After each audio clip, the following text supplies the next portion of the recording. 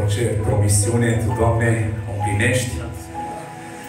De azi dimineața am rămas, uh, după acel mesaj deosebit al fratelui Liviu Cabor, cu un gând așa de puternic. Luăm uh, o promisiune din cuvântul lui Dumnezeu și o spunem, și o spunem, și o spunem, până o credem și să o credem până o vedem împlinită. Amin? Ce cuvânt frumos! Și asta vreau să facem în seara aceasta. Luăm doar un verset. Iosua 1.9. De pe acolo a vorbit și fratele Liviu, într-o bună parte.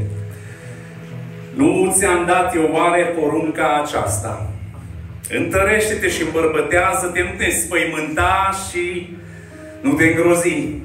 Căci Domnul Dumnezeul tău este cu tine în tot ce vei face. Amin. Doamne, Tată, stăm înaintea Ta. Te rog, Iisuse Sfânt, în numele Tău drag, de Mântuitor, pentru că Tu ai stat atârnat între cer și între pământ, pentru noi și pentru stările noastre, mă rog în seara aceasta să ne dai întărire, mă rog să alungi Tu frica din viețile noastre, Doamne, mă rog să ne, să ne înveți să fim dependenți de Tine, Doamne, mă rog să ne ajut să ne recăpătăm bucuria mântuirii și unde mai avem păcat în viață să-L alungăm. Amin, amin, amin. Vă rog respectos să vă reașezați.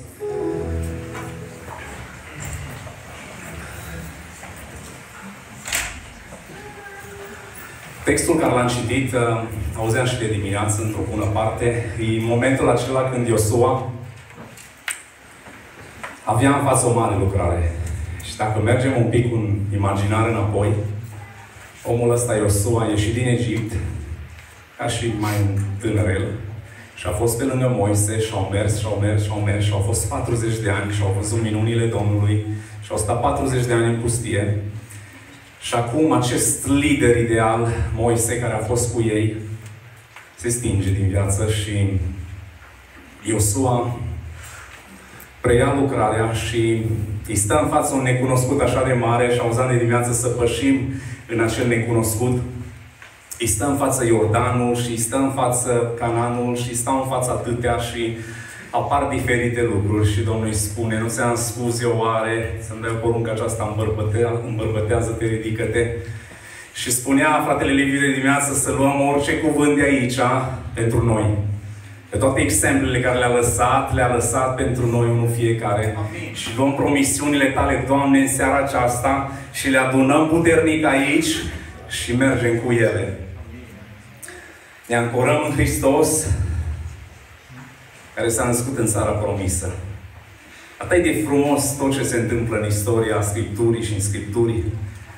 Ieșirea lor din Egipt, poporul evreu, modul în care trec Cananul, merg acolo, Nazaretul, toate sute de ani, încă a trecut o perioadă foarte lungă, dar toate să ducă până aici la Golgota. Toate acolo ajung să ne recapătăm relația noastră cu Dumnezeu prin Isus Hristos. Acolo în Canaan, acolo în Ierusalim, acolo la Nazaret, acolo în Betleem, acolo în Iesle s-a născut Isus Hristos. Toate lucrurile au dus într-acolo. Și vreau să spun în seara aceasta, nu-ți pierde nădejdea, am să și câteva versuri. Poezia asta e o predică în sine. Aș putea să o recit și să spun amin și să plecăm la formulețe. Nu-ți pierde nădejdea. Când alții te lasă, când uită de tine și nu le mai pasă, și Domnul simțita durerea trădării, pe rând, ucenicii l-au dat toți uitării. El știe ce înseamnă de a fi singur în luptă, când inima întreagă în cioburi ți ruptă.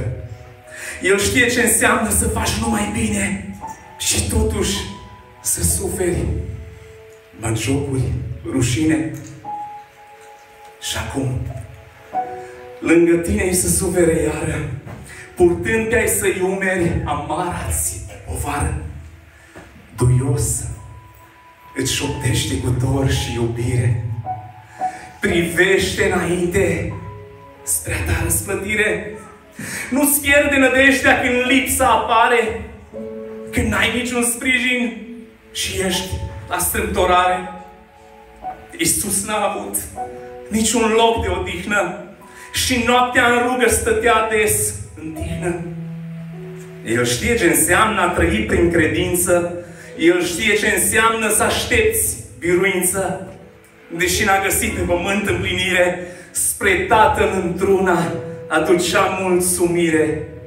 Și acum, cu blândețe te îndeamnă și spune să crezi că El poate să mai facă o minune.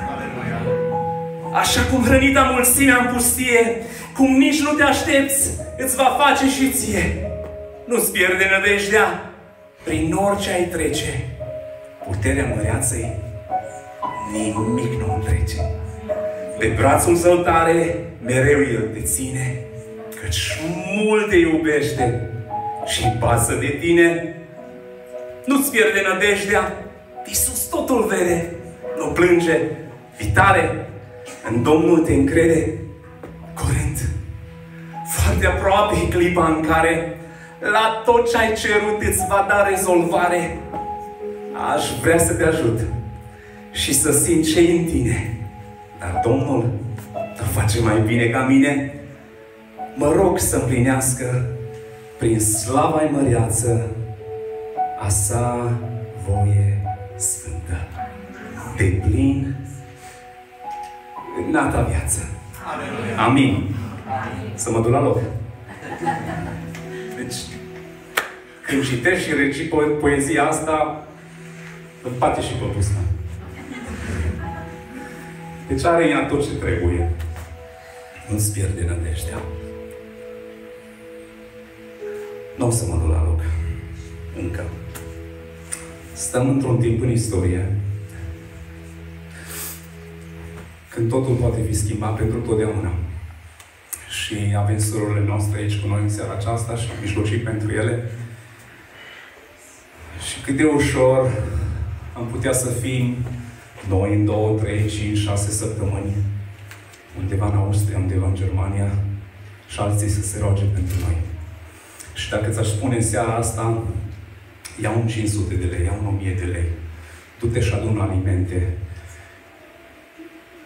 du-te la refugiați și du-le un cadou mai consistent, cu o sumă un pic mai mare. Așa că poate zice, a, bine, o să fac treaba asta, dar de 40 de lei, de 35 de lei, de 50 de lei. Și știi de ce? Pentru că ne-am obișnuit cu gândul că tot ce am agonisit de o viață e sigur și aici. Și când vine momentul să facem un bine, îl facem de foarte mic. Dar în momentul când pierdem tot, ne uităm în spate și spunem, dacă aș mai fi putut trimite linia de ceva la cer, mi-ar fi prinsă mult mai bine. E o pildă a vremurilor care o trăim și ajută-ne, Doamne, să învățăm din situația aceasta. Și poate nu, poate ne ia și oarecare frică și chiar vreau în seara aceasta să, să vorbesc de teamă, de frică și cum să le învingem în numele Lui Isus Hristos și să nu ne, pier- să nu ne pierdem nădejdea. Și eram într-o joi seara aici la rugăciune și îmi spunea frate, fratele Filip să aduc un îndemn. Și mi-a venit lucrul ăsta în minte. Că mulți se frământă vremurile astea. Da, este oarecum o groază, pentru că la granița noastră stă o împărăție puternică. Și noi suntem într-o altă împărăție, la NATO. Și dincolo e o altă împărăție și suntem așa undeva între. Nici nu știu dacă suntem în vreuna din ele, eu cred că suntem chiar între ele. Și mă gândeam așa de ușor cum putem să fim pătrunși de Duhul acela de frică. Dar am găsit în psalmi 145-13 Împărăția ta este o împărăție veșnică și stăpânirea ta rămâne în picioare în toate viacurile. Nu NATO, Regele Regilor Iisus Hristos. Acolo să ne fie ațântită inima și nădejdea noastră și vom fi bine. Și 1 Petru 5, 7, am citit tot, tot în joia seara în demnul meu, spunea și aruncați asupra lui toate îngrijorările voastre, cât și el însuși îngrijește de voi, amin, amin, amin. Păi, e la sigur acolo, așa Nu-ți pierde nădejdea. Să rostim lucrurile acestea până le crede, cum spunea fratele Liviu de dimineață. Spune tot în Iosua aici, de unde am citit, undeva mai spate, cartea aceasta legii, o, să nu se depărteze de gura ta, cugetă asupra ei zi și noapte, căutând să faci tot ce este scris în ea, căci atunci vei izbândi în toate lucrările tale și atunci vei lucra cum? Cu înțelepciune, Doamne, de ne Tu din belșug. Cum alungi frica. Spune în Ioan 1, 5, de la 14, îndrăzneala pe care o avem la El este că dacă cerem ceva după voia Lui, ne ascultă. Haideți să cerem în seara aceasta după voia Lui. Și dacă știm că ne ascultă orice, i-am cere, știm că suntem stăpâni pe lucrurile pe care ei le-am cerut. Și în, această seară, în seara aceasta să cerem lucruri după voia Lui ca, să, ca El să ne asculte. Amin? Amin și Domnul să ne mărească încrederea în El. 2 Timotei 1,7 Căci Dumnezeu nu ne-a dat un duh de frică, ci de putere, de dragoste și de echipzuință. Ce versete frumoase! Să le rostim și să le rostim și să le rostim până le credem și să le credem până le împlinim în viața noastră. Amin? Nu ne-a dat un duh de frică, ci de putere, de dragoste și de chipzuință. Amin. Avem nevoie de multe lucruri ca frica să plece sau ca frica să nu se instaleze. Și astăzi vreau să vorbesc despre trei lucruri care le-am găsit mai importante, pentru că ar fi, mult, ar fi mult mai multe și toate sunt importante, dar câteva piloane așa care vreau să discut un picuț cu voi, cu noi și să ne îmbărbătăm și să mergem acasă mai plin de el. Uh, unu, în primul rând, uh, încredere de plină dependență de Dumnezeu. E așa de important să ajungem la starea că suntem într-o dependență totală de Dumnezeu și asta va lucra la nivelul nostru să frica nu prea și mai găsește cuib în noi atunci când suntem într-o dependență totală de Dumnezeu, nu? Spune Isaia 41 cu 10, așa de frumos și să o luăm și promisiunea asta și să o rostim până o credem. Nu te teme că eu sunt cu tine. Nu te uita cu îngrijorare că eu sunt Dumnezeul tău, eu te întăresc, tot eu îți vin în ajutor, eu te sprijinesc cu dreapta mea biruitoare. Și textul cu care am început, nu ți-am dat eu oare porunca aceasta. Întărește-te și îmbărbătează-te, nu te înspăimânta și nu te îngrozi, că Domnul Dumnezeul tău este cu tine în tot ce vei face. Amin? Amin? Să ne încredem în El. Dragilor, s-au ridicat restricțiile. Și totuși sunteți în seara asta într-un număr așa de frumos. A fost și o climă chiar faină ultimele zile, nu știu Sigur toți ați observat. Și puteați în seara asta să fiți uh, în oraș, să fiți, știu, la o ciorbiță de burtă, bărbații, la o salată verde, surorile. Uh, puteați fi multe alte locuri și totuși ați ales să veniți aici, într-un loc unde se cheamă numele Lui, unde stăm în rugăciune, în închinare și unde ascultăm câteva versete din Cuvântul Lui Dumnezeu și îmi merge mintea la clipele acelea cu Isus, cu ucenicii, și spune în Ioan 6, versetul 67. Atunci Iisus a zis celor 12, Voi nu vreți să vă duceți? Și următorul verset spune, Doamne, i-a răspuns Simon Petru, la cine să ne ducem? Că la tine sunt cuvintele vieții veșnice. Ce să facem noi în oraș? Doar că s-au încălzit. Când războiul stă la poartă, la graniță, când covid ne-a propopsit pe o grămadă de dragi. Când atâtea boli și atâtea necazuri, când Raluca mâine e în spital la intervenție, când atâtea se întâmplă, când Mihai trebuie să se însoare, ce să facă el în oraș? Că aici sunt cuvintele vieții veșnice. Și Ovidiu trebuie să se însoare, că de aia nu vin în seara asta. A fost bolnav să ne rugăm și pentru el. Îl pot spune pe listă, eu nu dar eu sper că e o treabă foarte așa, să nu-l pui numai pentru o zi.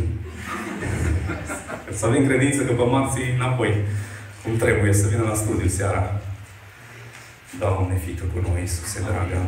Dependență totală de Tine, Doamne. Amin. Un alt lucru, cum arunci, cum alungi sau arunci în numele Lui Hristos frica, cum alungi frica, bucuria mântuirii. să ai sau să recapeți bucuria mântuirii. Poate o să spui, dar ce are bucuria mântuirii de a face cu fricare? Foarte multe, are multe. Când ești ancorat în nădejdea viitoare și inundat de bucuria mântuirii, nu mai ai frica circumstanțelor de moment. Credeți lucrul acesta? Da. Psalmul 51, 11. Spune David după multe. Nu mă lepăda de la fața ta și nu lua de la mine Duhul tău cel Sfânt. Dă-mi iarăși bucuria mântuirii tale. O, fără de bucuria mântuirii tale, e foarte greu fără, fără mântuirea, fără bucuria aceea că ai mântuirea și certitudinea aceea. Doamne, dă-ne Tu bucuria mântuirii tale. Ce este bucuria mântuirii? E bucuria că sunt mântuit. E certitudinea că sunt mântuit. Sunt mântuit cu siguranță. Sunt mântuit și asta îmi fericește viața, mă umple de bucurie zilnic. Aleluia! Amin? David este un exemplu și o atitudine a unuia cu bucuria mântuirii în suflet. Ascultă ce spune aici în Psalmul 27 cu 4. Și Domnul ăsta era sincer, nu cuvinte. Un lucru cer de la Domnul și îl doresc fierbinte. Aș vrea să locuiesc toată viața mea în casa Domnului, să privesc frumusețea Domnului și să mă minunez de templul Lui. Aleluia! Deci siguranța că sunt mântuit. De așa că Cred că fiecare din voi ați avut la un moment dat în viață întrebarea asta, orică v-a pus-o cineva, orică a spus-o voi, orică a auzit Ați auzit întrebându-se unii pe alții, mă, dragule, tu dacă la noapte te stinge, unde mergi? Și ai auzit de multe ori o liniște mare înainte să auzi ceva, nu? Și o stare din aia așa, unde mergi dacă mor la noapte? Și după aia poate de multe ori a venit un răspuns, a, păi numai bunul Dumnezeu știe chiar. Acolo e lipsă de bucuria mântuirii. Că dacă ai bucuria mântuirii, ai certitudinea mântuirii și știi că tu ești mântuit. Noi ca și creștini, noi trebuie să știm clar, Doamne, dacă în momentul ăsta trec, îs acolo. Da, poate păcatul din viața ta îi, îi ceva acolo și îți, îți spune întrebări și ajung și acolo. Dragilor, trebuie să fim ancorați de cer de Isus Hristos. Și am găsit ceva așa de prețios, de prețios în Scripturi cu, cu legătura la bucuria mântuirii, nu, nu mi-a venit să cred. Deci când căutam lucrul acesta, ascultați aici, în 1 Petru 1.7 și citesc parțial din versetul 7 și mă duc mai repede la 8 9, să aibă ca urmare lauda, slava și cinstea la arătarea lui Iisus Hristos, pe care voi îl iubiți fără să-L fi văzut Credeți în El fără să-L vedeți și vă bucurați cu o bucurie negrăită și strălucită pentru că veți dobândi ca sfârșit al credinței voastre mântuirea sufletelor voastre. Nu aici e definiția. Deci din Scripturi, definiția la bucuria mântuirii e aici, pe la 1 Petru, între 7, 8, 9. Vă bucurați cu o bucurie negrăită și strălucită că veți dobândi mântuirea sufletelor voastre. Amin. Amin? Dă-mi iarăși bucuria mântuirii tale și sprijine-mă în duh de bunăvoință. Atunci voi învăța căi, căile tale de cei ce le calcă și păcătoșii se vor întoarce la tine. Și ajung la al treilea lucru. Elimină păcatul. Nu poți să ai certitudinea că frica din viața ta a plecat dacă încă mai ai păcat. Nu poți să ai bucuria mântuirii în sufletul tău dacă încă mai este acel, ce păcatul acel zid între noi și Dumnezeu și noi îl ridicăm, nu Dumnezeu.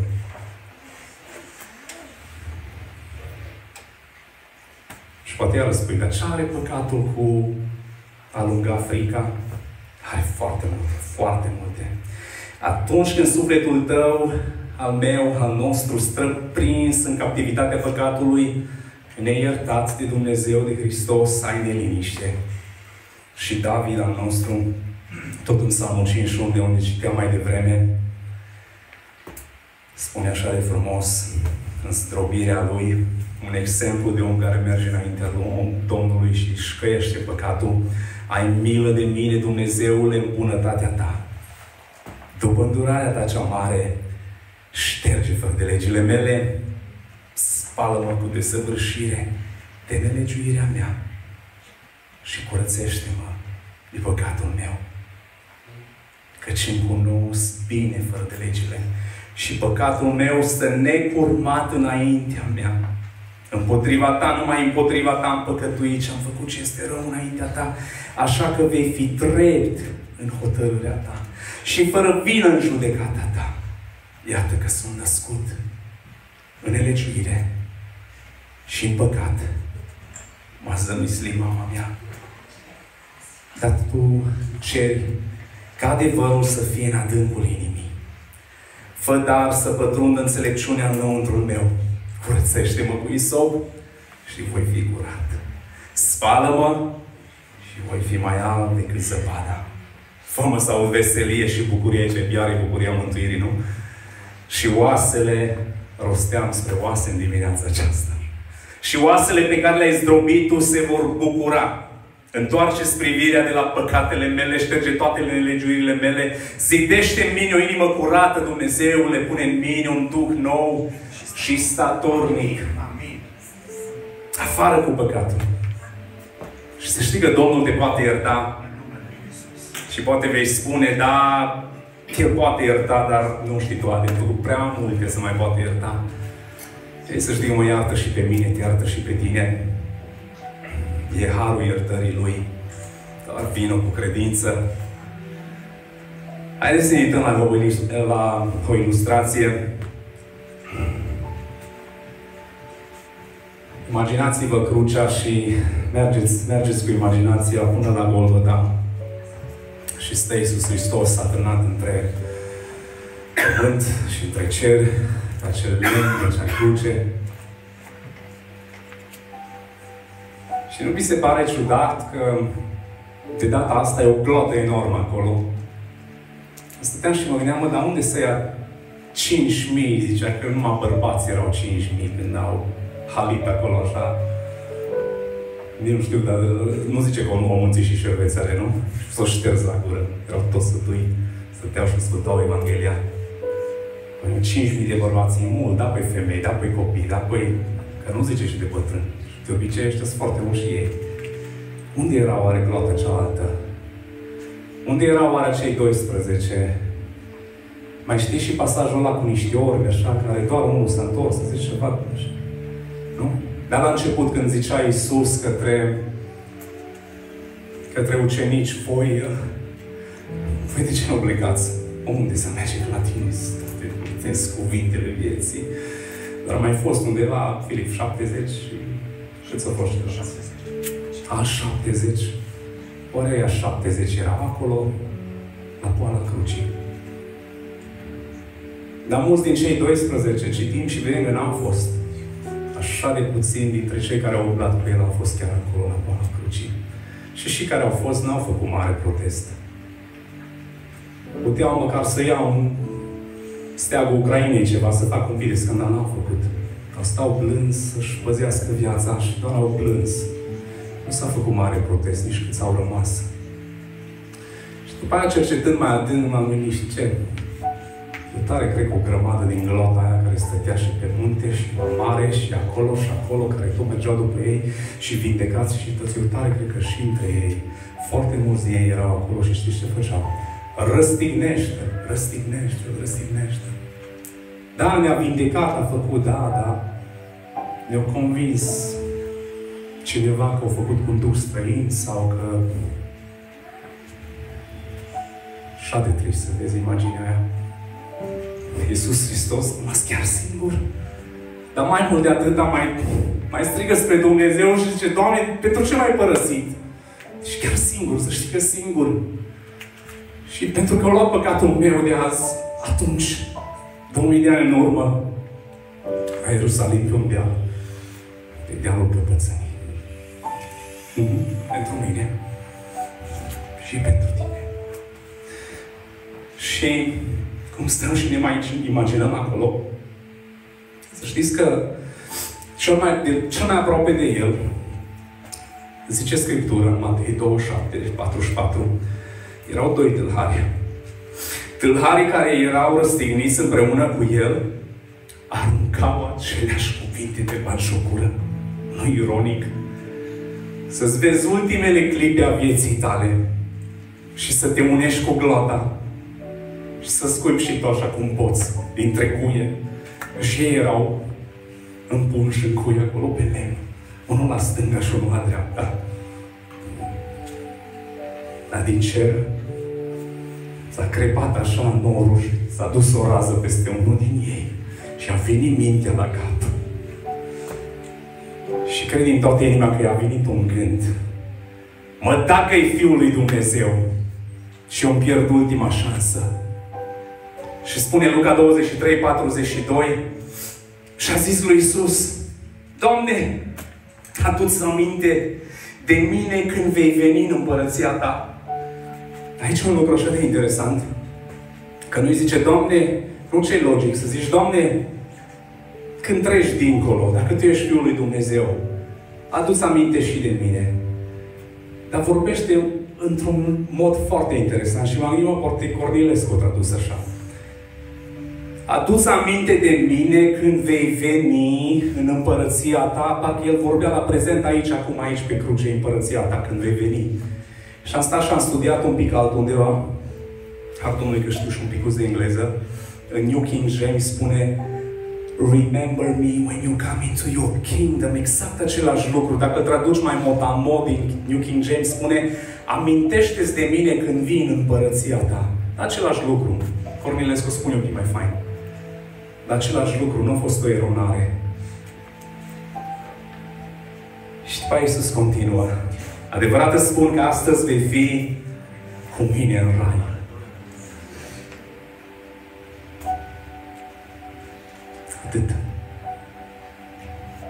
La o parte a crucii e un tâlhar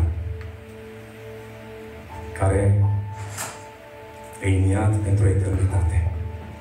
Credeți că nu putea fi și acolo? Credeți că nu încăpeau doi tâlhari?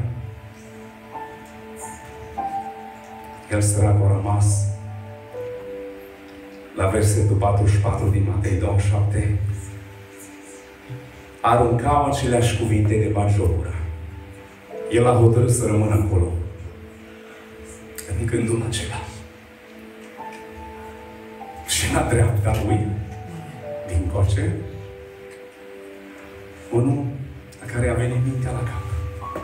Și o singură dată, nu de 10 ori, nu de 3 ori, nu de 5 ori, nu o viață întreagă, o singură dată, a gustat și a văzut ce bunit Domnul. O singură propoziție. Și a fost mântuit.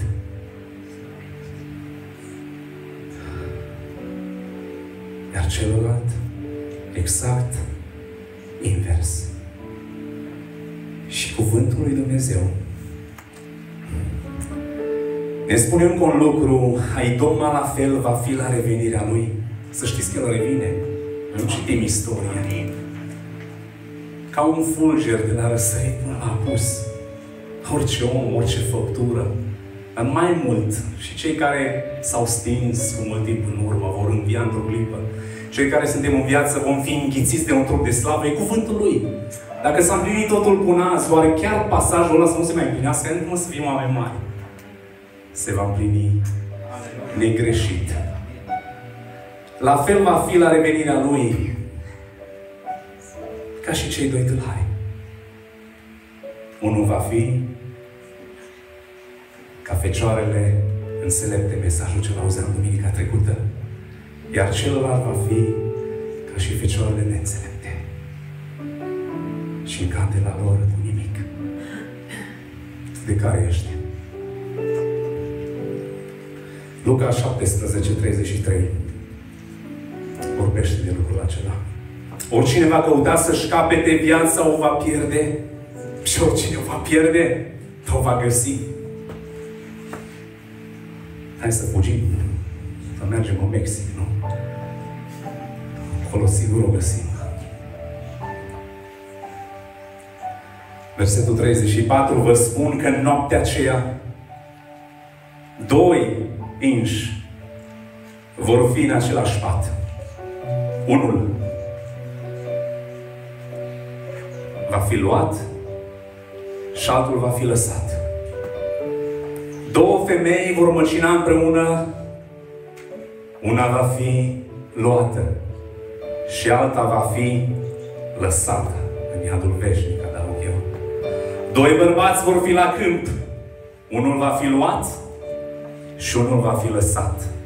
Pentru că ce s-a întâmplat la Golgota pe acea cruce și acei doi tâlhari spilda vremii. Și să știți că așa e și azi. Nu spune într-o adunare așa frumoasă cu voi care n-ați ales să fiți altundeva, că ar fi prea mulți tâlhari din ăștia de pe partea asta a crucii. Aș crede că majoritatea suntem de pe partea asta la alta crucii. Dar cine sunt eu să dau nota asta? Decât El o poate face. Nici în dreptul meu nu pot să am toată siguranța de plină. Dar Isus să ne ajute pe fiecare să ne duce mântuirea până la capăt. Ce facem noi în seara aceasta să alungăm frica?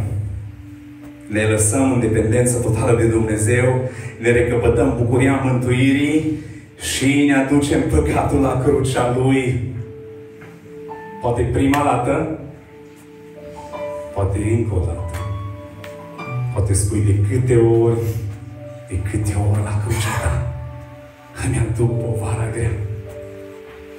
Indiferent că e o dată sau o două oră sau o trei oră, Mihai, doar câtă oră îți aduci păcatul înaintea Domnului. Eu am și pierdut numărul. Domnul să mă ierte. De câte ori să iert, Doamne, celui ce îmi greșește, de 70 de ori câte șapte spune Iisus. Standardul înalt al lui Dumnezeu ne spune să procedăm așa greșiților noștri. Și oare El va proceda la fel? Eu spun că da. Și nu vreau să testez aici harul, nu? Cum e cântarea, unde e har mult, acolo e și... Unde e păcat mult, acolo e și mult har. Nu vreau să mergem pe panta aceea să spunem, nu? Roman 6. Ce vă zice des să, mul- să păcătuim mereu ca să se mulțească harul nici de cum? Ce spune Iisus femeie prinse în adulter? Du-te și nu mai păcătui. Și Domnul să ne ajute în aceasta. Suntem aici mulți părinți. Vă știu pe câțiva, pe alții nu vă știu, dar vă văd cu câte un copil în brață. Și nu e așa când uh, un fiu, o fică ne greșește, hai părinții, spuneți, au greșit copilașii voștri și că de 5 ani și de 6 și de 14 și de 18. Uh, e aici, e aici oare în sala asta, în seara asta și în sala asta un copil care încă nu e iertat? Poate dacă a făcut o trăznaie altă la azi, la miaz, poate sunteți de aia care aștepta să se încarce carul și încă n-ați apucat să-l iertați. Dar cu siguranță, cel puțin eu, cât mi-a greșit, eu să mă să nu mai zici pe nume. Da? Mi-a greșit de multe ori. Dar să știți că spun din toată inima iertat și nimic din ce a greșit odată nu mai îmi amintesc și nu mai am niciun stres. Îl iubesc pe copilul meu și îl văd că se maturizează în fiecare zi și știți care e frumusețea lucrurilor? A greșit la 3 ani, a greșit la 4 ani, a greșit la 5, la 6, la 8, la 10, la 12, la 16 și imediat are 14, 18 și urmează majoratul și facem ceva mai finuț. Și frumusețea lucrurilor e că ori de câte ori a greșit, că a fost mai greu, că a fost mai complex, le-am calculat, m-am mai cu disciplina, eu sunt ăla bun. S-o iertat. Și Simți și tu i-ai iertat, i-ai iertat și tu. Haleluia. Nu ne mai amintim de greșelile lor. Că iubim pe toți trei și adunăm, că reușim seara și binecuvântăm și ne bucurăm de ei, că sunt binecuvântarea cea mai frumoasă care ne-a dat-o Domnul în viața asta și tot ce vreau să îi văd mântuiți și născuți din nou și prin El și să laude pe El și să fie o pildă în lume și așa. Frumusețea lucrurilor e că cu fiecare an, cu fiecare lună, cu fiecare săptămână, greșesc tot mai puține. Devin tot mai maturi. Devin tot mai mari. Și o greșeală ta nu te va face, nu-ți va pierde dreptul de fiu. O greșeală ta te va zdrobi, te va duce într-o situație penibilă, cu mami, cu tati, va trebui să discutăm despre ea, va trebui să fim rupți în suflet și în inimă, mai ales dacă e prostie mare de tot. Dar știu că nu mai repeți. Sau dacă o repeți, o faci mult mai atent. Și a treia oară nu mai faci deloc. Să știți că așa și Dumnezeu cu noi. Bă, nu suntem perfecți. Spuneam nu suntem perfecți. Păi nu vă chemăm la Evanghelie în care vă spune că odată ce ai luat naștere din nou și te-a botezat Domnul cu Duhul Sfânt, în veci pur tu nu mai păcătuiești, tu ai ajuns la desăvârșire. Nu. Că citesc pe Pavel și după cum treci filele, atitudinea lui tot mai smerită, și undeva mai spre sfârșitul lucrării lui spune, o, nenorocitul de mine, sunt cel mai păcătos dintre oameni. Și la început nu spune așa, la început era un pic mai sigur. Dar pe măsură ce crești și mergi și observ că Dumnezeu ne-a construit într-un mod împăcat, ne-a zămislit mama noastră, va sta mizeria asta de păcat după noi o viață întreagă. Vom fi pândiți mereu, dar ce trebuie să fim ancorați aici? Ce trebuie să fim din la care eu vine mintea la cap? Să spunem, amintește-ți de mine când vin în împărăția ta. În fiecare zi, când te trezești, spuneți, amintește-ți de mine când vin în împărăția ta. Amintește-ți de mine când vin în împărăția ta. Repetă până crezi. Și când ajungem acasă, să zicem, Zali, mai știi mesajul ăla din seara asta, din seara aceea? Nu știu ce datează, 20. Să zic, da, frumos. Învățam și eu. Eram la nu știu câtea cădere. Am mă ridicasem. Aleluia. Te poate ierta și pe tine azi. Aleluia. Și parcă la aud. Nu spune du-te și nu mai păcătui. Închei cântând această cântare. Nu. Închei cântând această întrebare. De câte ori la crucea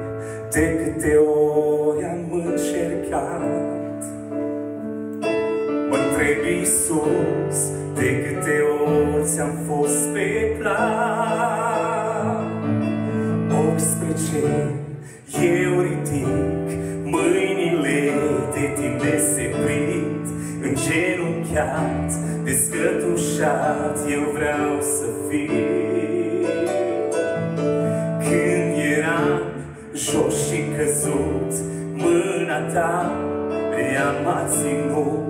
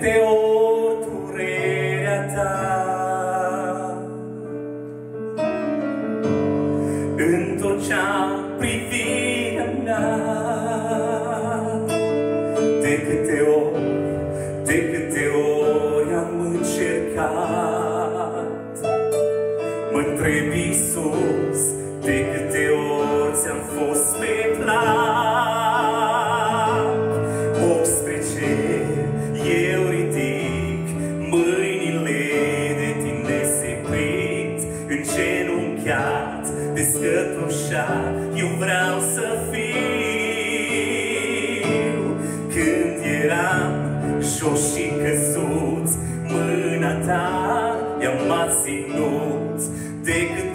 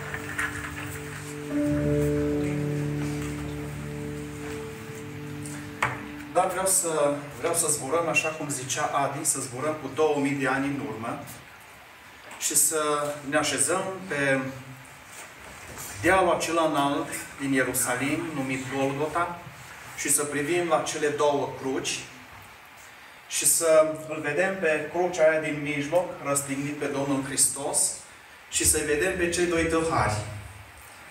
Unul la stânga, altul la dreapta.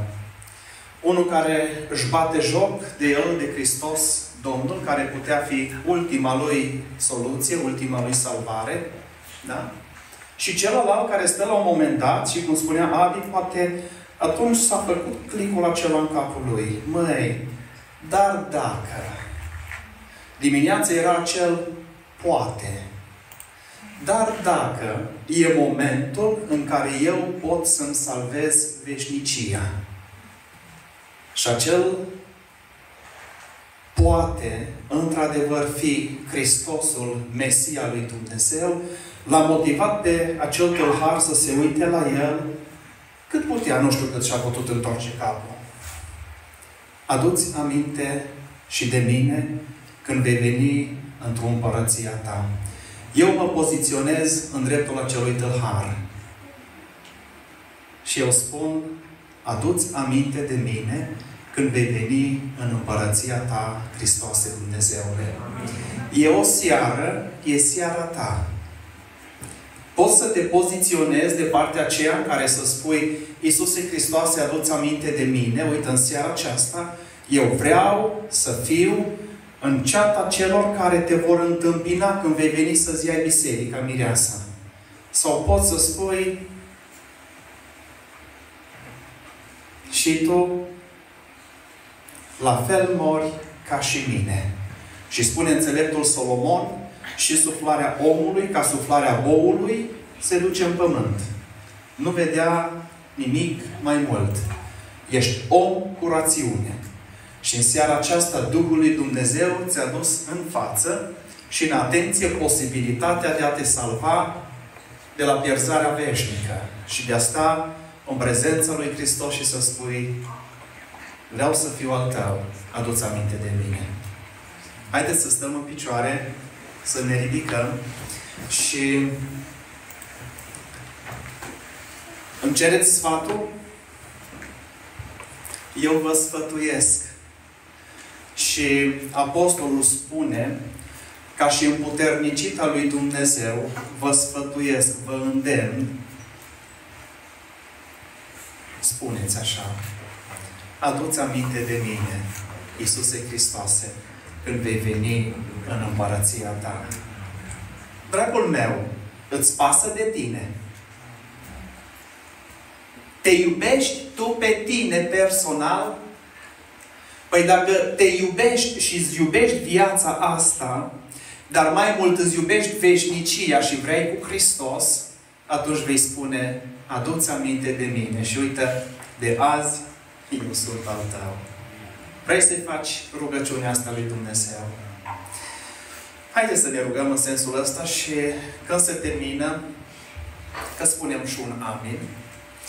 Uh, vă rog să nu vă grăbiți. Acolo uh, putem să rămânem, să socializăm, să ne binecuvântăm, să ne rugăm unii pentru alții și putem să împărtășim din binecuvântări și putem să împărtășim din uh, mâhnirile noastre în ideea de a ne ruga unii pentru alții.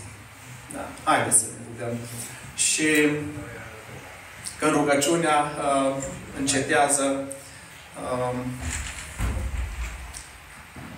Ionuț, v-am mulțumit Domnului pentru uh, ceea ce a fost în seara asta aici.